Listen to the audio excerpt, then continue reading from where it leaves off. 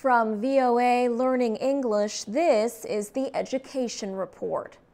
American colleges are facing many problems. College costs are rising, and there are not enough jobs for the people who have finished study programs.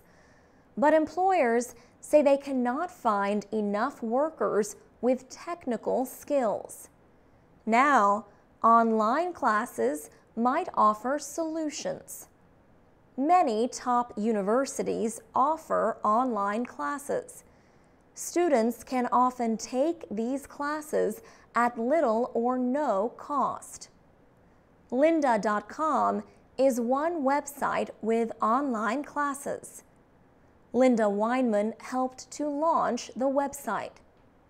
She says that colleges cannot teach technical skills easily because these skills change quickly. But it is easy for websites with online classes to keep up with new technology. Online classes offer different ways to learn. At most colleges, a professor gives a lecture and the students research and study alone. Students who take online classes listen to lectures at home, but they work with their professor on projects and homework. Experts say the growing number of online classes will have a major effect on colleges. Some say college classes in the future may be a mix of online lectures and professors helping students in person. Georgetown University labor economist Tony Carnevale says he would welcome these changes. He says a college education must lead to skills that employers need.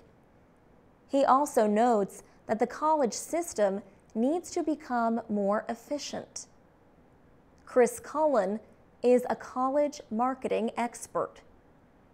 He says competition from online schools and concerns about costs will change universities. He says top universities with strong public images may expand in an online world, but less famous schools may struggle to interest students. For VOA Learning English, I'm Alex Villarreal.